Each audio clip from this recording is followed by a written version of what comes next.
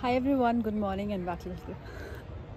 hi guys welcome back to my YouTube channel सुबह उठ गई थी मैं बस जल्दी उसके बाद I wash some of my clothes and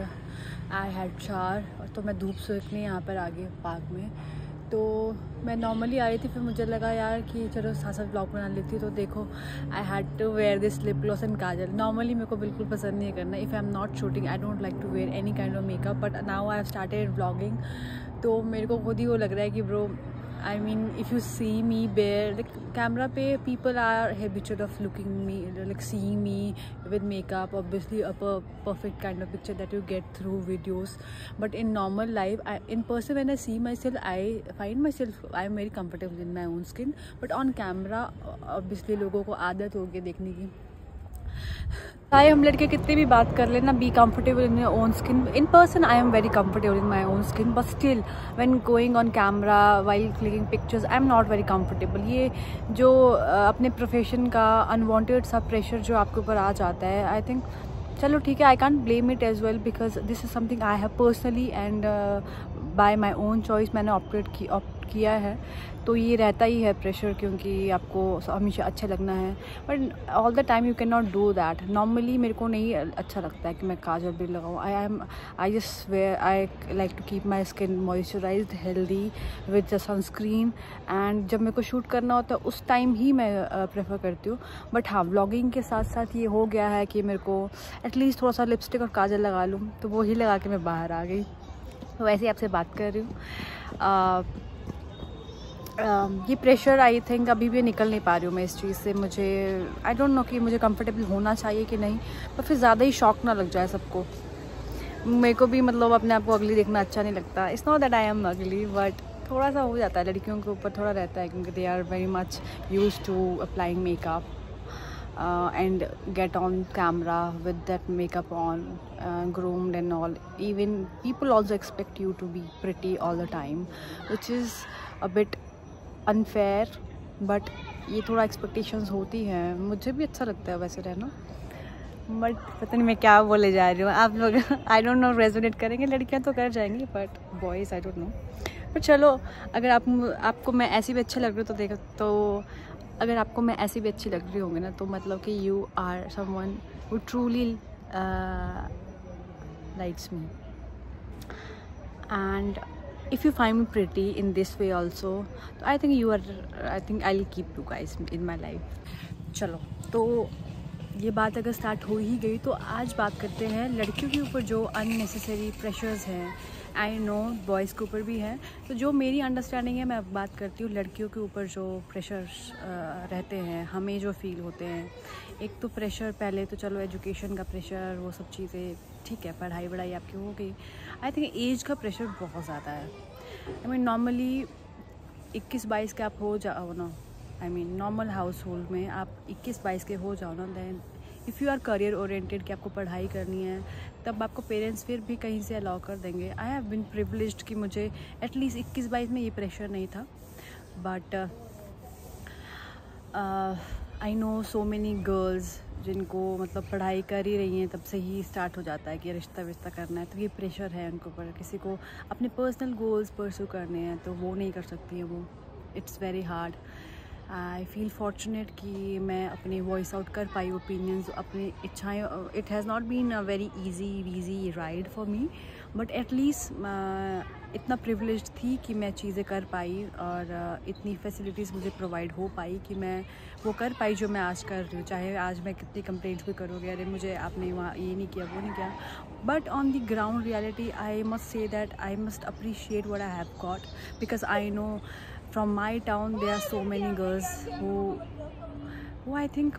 शायद हमें देख के, मुझे देख के उनको लगता होगा यार कि कितना प्रिवलेज हैं। तो आज बस मैं यही कन्फेस करना चाहती हूँ कि अभी तक they I have not been very very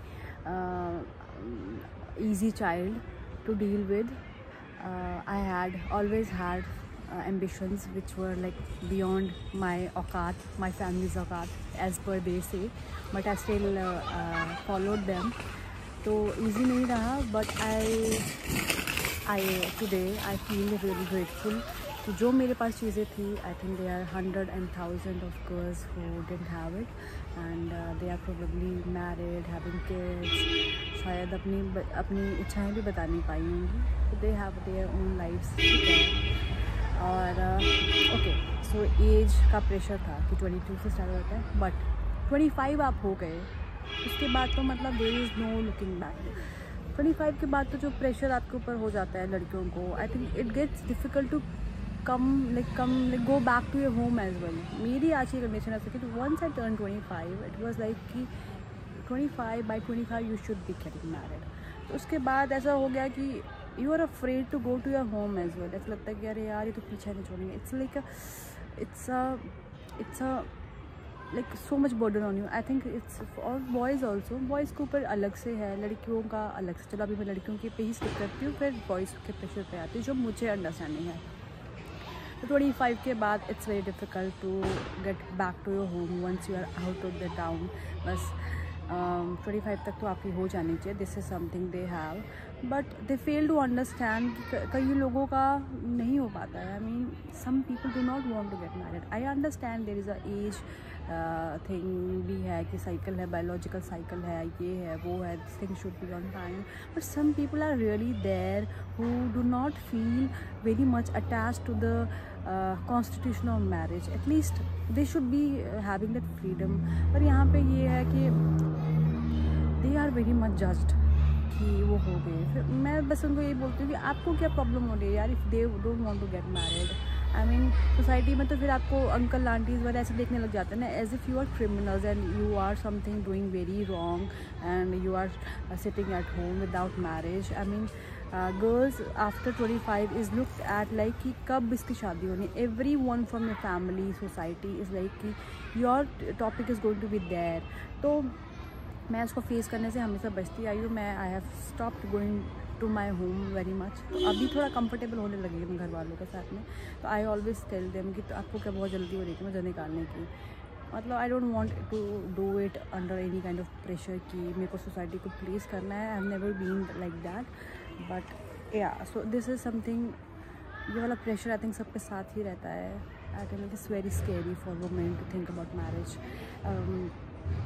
चलो, एक टाइम पे तो ये होता है कि उनके पास चॉइस नहीं होती है बट एक बार when we are educated they are so many things that we have to think we are very much scare about the concept of marriage because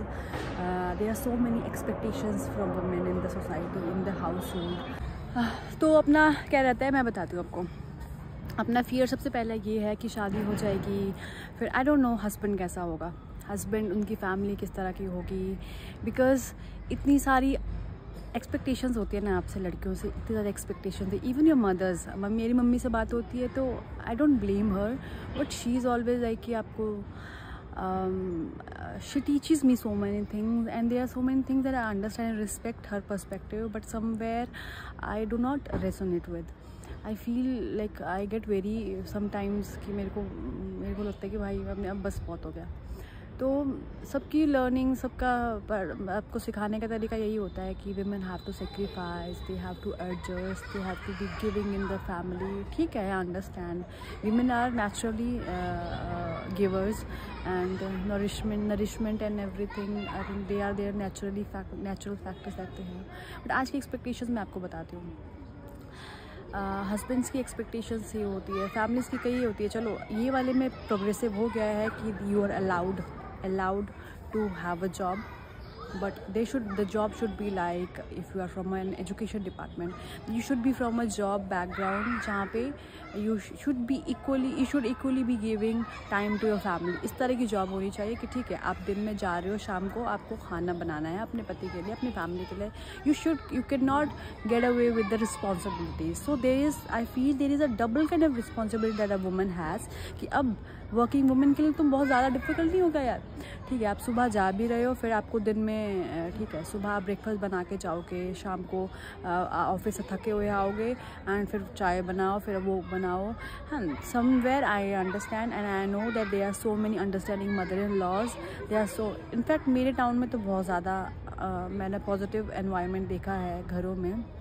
Women uh, the uh, um, the daughter-in-laws from the family are very much supported to pursue what they want to do. But mostly this is the fear that we have. जो freedom अभी है ना हमारे पास I I personally feel afraid of losing the freedom and yeah main मेरे को लगता है आज की डेट में क्या हो गया है कि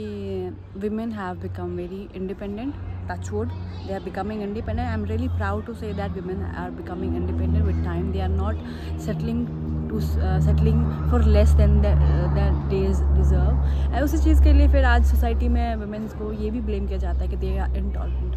बट मेरे को लगता है और डिवोर्स के ऊपर भी जो टैबू सा बना रखा है I personally don't endorse divorce at all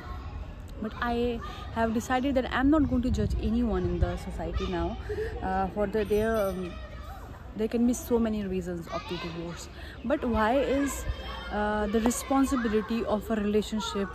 i mean on like majorly on women only अगर औरत सह रही है मतलब औरत का सहने का काम है तभी रिश्ता चलेगा अदरवाइज़ नहीं men are like that only they will easily आप ऑफ़िस से आ रहे हो दे हैव दिस थिंग कि ठीक है, मैं कमा रहा हूँ। ठीक है आई अंडरस्टैंड अंडरस्टैंड कि दिस अ बैलेंस दैट भगवान ने जिस तरह से बनाया है विमेन और मेन को कि मेन मेन बेसिकली यही जो एनवायरनमेंट बना था, जिस तरह से कॉन्स्ट्रक्ट बना था कि women are going to make the building a house and the guy is going to be protective he is going to protect the women in the family he is going to provide to the family that is that is what man does does and uh, and uh, women is going to nurture that तो इस तरह का construct इस तरह का setup रहा है हमेशा से तो धीरे धीरे क्या होता गया कि I mean it's naturally expected out of a women to serve to the guy I am not saying that I have any problem with serving to my man my guy I would love to serve but the thing is that I want that acknowledgement for what I do कि मेरे को I it it will hurt me कि if the guy is like कि if he thinks that it's my job to provide to him so yeah that i was saying that it is not my duty to serve to them i will do it as a partner because uh, i will see that he has come back from work and he's tired i will do that but i want that courtesy in a man to say thank you to me and if he wants something from me he will consider that as a favor or he will not take it as my job I mean, I want the gratitude from his side if I'm doing that to him. And if yeah, these are some things that I feel. I think अभी मेरा इतना environment नहीं बन पा रहा है कि मैं और इसको डेप्थ में जाऊँ। So this is this basic things that I expect तो ये वाले